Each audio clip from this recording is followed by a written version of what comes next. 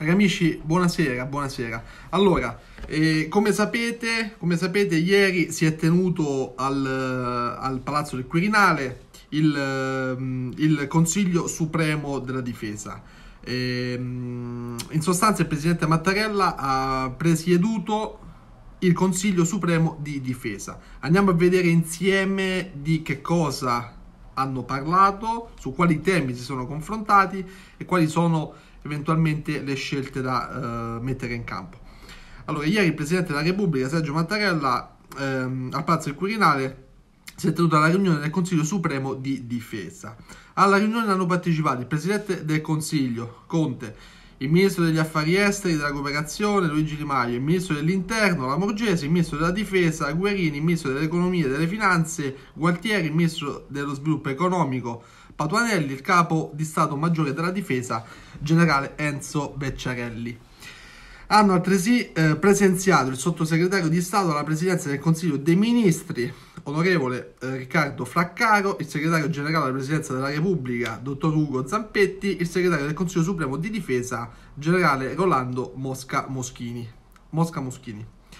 Il Consiglio, dopo aver espresso riconoscenza a tutte le articolazioni della difesa che stanno fornendo il loro prezioso contributo con assetti sanitari, logistici e operativi alla risposta nazionale alla pandemia, ha fatto un punto di situazione sulle principali aree di instabilità e sulla presenza delle forze armate nei diversi teatri operativi.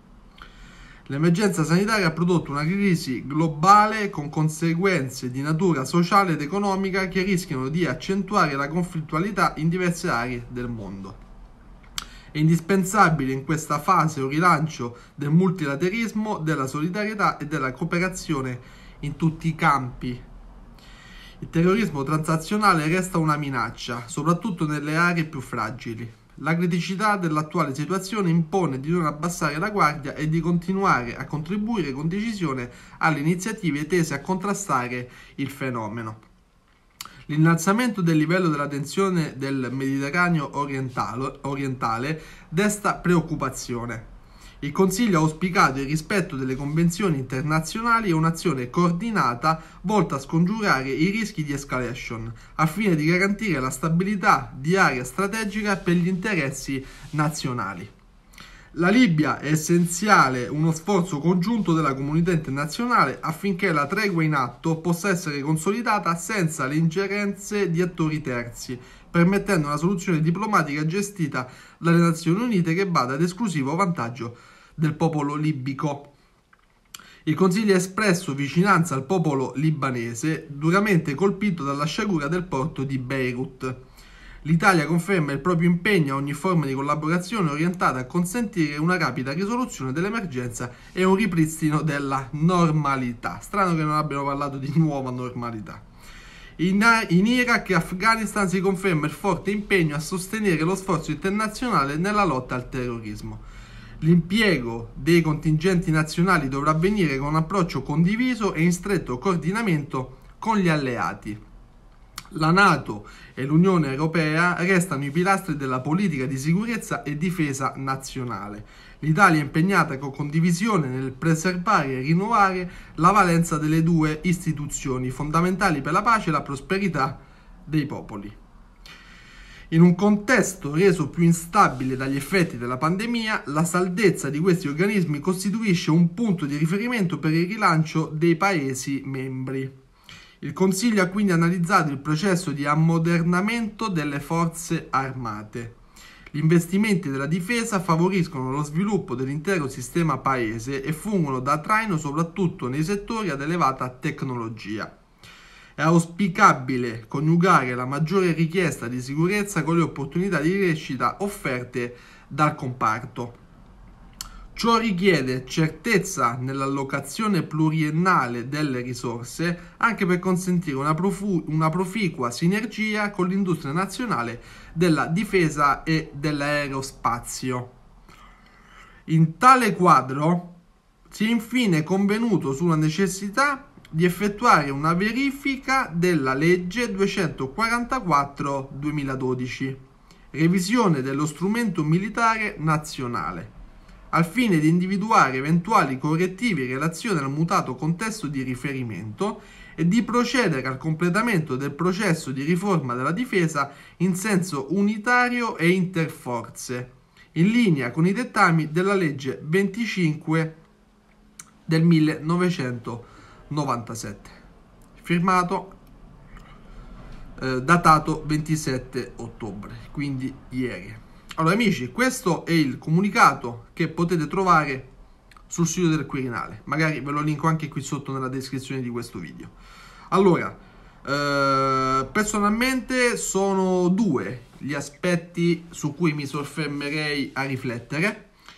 Il primo, il primo è questo qui, nel primo paragrafo, subito dopo l'elenco di chi ha partecipato, dice il Consiglio, dopo aver espresso riconoscenza a tutte le articolazioni della difesa che stanno fornendo il loro prezioso contributo con assetti sanitari, logistici e operativi alla risposta nazionale alla pandemia da Covid, ha fatto un punto di situazione sulle principali aree di instabilità e sulla presenza delle forze armate nei diversi teatri operativi.